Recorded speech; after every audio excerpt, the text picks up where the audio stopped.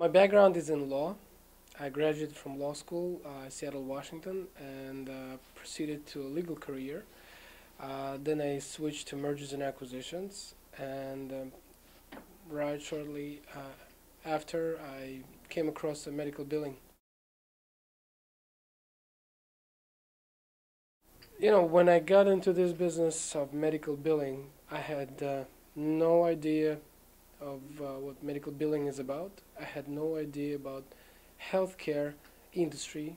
I've never came across uh, before, and uh, no uh, medical professionals ever been part of my life. So that was a totally new area for me.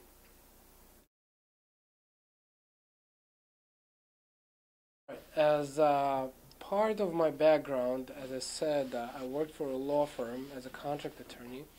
We had to do extensive due diligence on our prospective clients and or on mergers and acquisitions candidates. And uh, when I was approached by my partner to go into medical billing, we had to find a solid, reputable company that provides with um, not only training but most important support after the training. And uh, it was an extensive uh, research that we've done, and we came up with a couple of names. And after uh, filtering these names, we came up with only one, and that was American Business Systems. And we've learned a lot about Patrick, the founder of the company, who changed our perspective, the vision, the view of the world, and the mental uh, impression of all, for which we uh, still always will be thankful to him.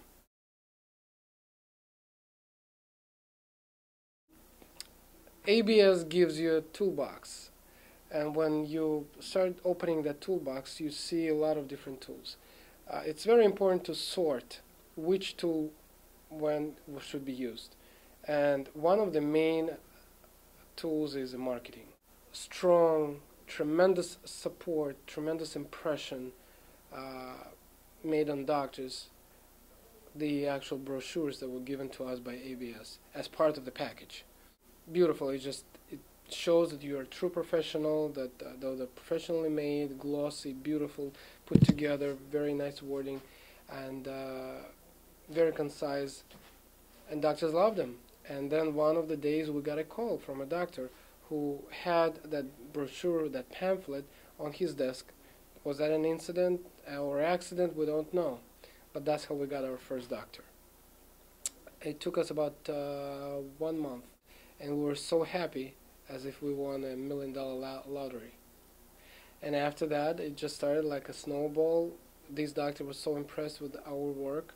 Uh, he started referring other doctors, and slowly but surely, we got to a point now, uh, three, four months after the training, we are at uh, about 15, 16 doctors. As I said, the first month uh, after the training, when we came back to New York, we were so enthusiastic, we were so fired up with all the energy, with all the tools, with all the. Uh, uh, so it all created one huge ambition ambition to succeed. You know, I think that what uh, dragged us through that whole month uh, of December. There were moments. Uh, my partner has four kids, and I have two kids, and my wife is pregnant. And then, at that point, when we were sitting here and spending 24 hours a day brainstorming uh, how to succeed, how to attract the first doctor, and how, at some point, we were we were just we were ready to give up. We're ready to give up because that was to us it seemed like it's all it's all a dream and that dream will never come true. And um, all of a sudden we get a call from a doctor. That crucial moment at that very moment when we're ready to break get a call from a doctor who is asking i want to know more. But he called in response to one of the pamphlets that we dropped by his office. He calls to find out more about our services. Now, we actually met with him, we gave him a presentation, he liked it, and he said, if I had another office, I would definitely retain your services. At this point, I'm so small, I can do it myself. And this doctor maybe had uh, 20 or 30 patients a month. So that's nothing. But these little words of his saying that if I had a second office, and then Ari, my partner, right away, are you planning to have a second office? He says yes. And that was enough. A glimpse of hope. So we, we decided no matter what it takes, we're going to sit and wait until he gets a second office. And then surely we will get his business. Now, three, four months after, he actually calls us and says, Guys, I just opened a second office. I want to, to be my uh, billers.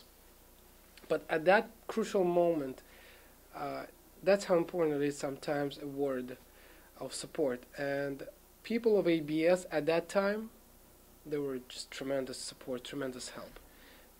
Because of them, we didn't give up. We were at the, at the, on the verge. We were difficult. It's it's not easy. Nobody says it's easy. But once you get into this, one doctor refers another, and another doctor refers another two, two refer, and so it's like a snowball. It's difficult to say. It's difficult to say. You have to use all of them. It's like you're throwing seeds into the field, and something will come out. Everything works, but so let's say we, we use seven, eight, nine, ten different things that were given to us by ABS. One of those things by itself, isolated from everything else, would not work. So, in other words, one complements another. They all work in conjunction with each other. You have to have a website.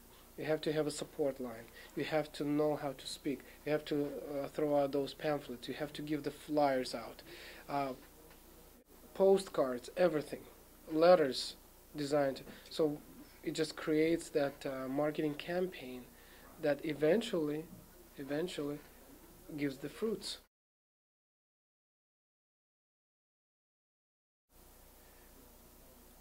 Nothing. Nothing. Nothing. Nothing, right? It's just, it's just perfect. Uh, Well, it, all it takes is just the right mental approach. Something that uh, ABS teaches you. You can get the best tools over there, but you will never get to the point from point A to point B. You don't have the right mental approach. You have to program yourself. You have to keep saying to yourself, I'll be successful, I'll get the doctor, I'll get this doctor. Eventually it will happen. It will happen. You have to be patient. Sometimes, again, as I said, uh, during that month, first month, uh, I thought to myself, uh, we won't be able to do that. That is the, probably the only thing that I would change. I wouldn't tell myself those negative things because uh, we're all human beings, nobody's perfect, and we have our impatience. And again, kids at home, and wives, and families, and you're under constant pressure, you don't know what the future is, and then, boom, it happens. But uh, to change, I would do it over again, absolutely the same way.